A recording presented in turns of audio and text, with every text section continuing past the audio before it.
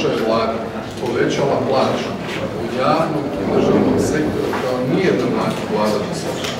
Ako pogledate centralni obračun plaće, onda kad tražite predsjednika vlade, potpredsjednika, ministre, saborski zastupnik, oni su ispod 1300 tog mjesta. Ko su oni koji su u vrhu i dio riječi? Ne svi.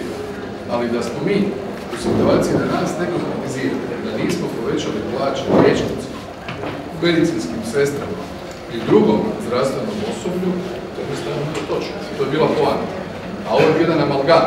Ja sam tu više mislio na drugu skupinu koja ima plaće od 50.000 kuna, kojima smo isto povećali plaće, u tu vam mislim, tu Dakle, u ovim okvirima, kad država staje iza radnika u privatnom sektoru, isplati plaće za 700 tisuća ljudi u vremenu kad izlazi sa 5 milijardi kuna paketa da bi spriječila udar rasta cijene energenata na građane, svakako, svako kućanstvo, na one koji su socijalno najugroženiji, na mikro, male i srednje poduzetnike, na umirovljenike, poljoprivrednike, ribare.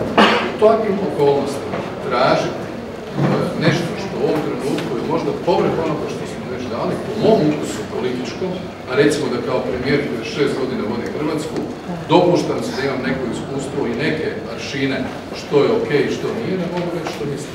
Stojim iza toga.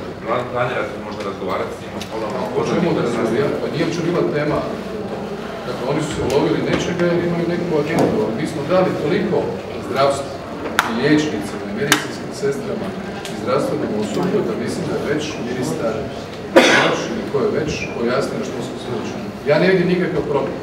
Pogotovo ne ja koji je dao maksimalno. Naravno da bi htjeli svi imati više. Da pače. Možda bi neki, ima ljudi koji meni kažu možda i vaša plaća malo. Ali Razumijete? Molim vas, Deutsche Welle kratko. Deutsche Welle kratko, molim vas.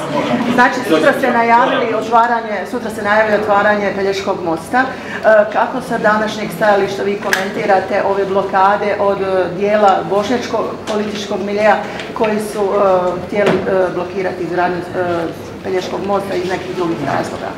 Most je tu, lijep je, ostat će i svi smo za. Hvala. Hvala.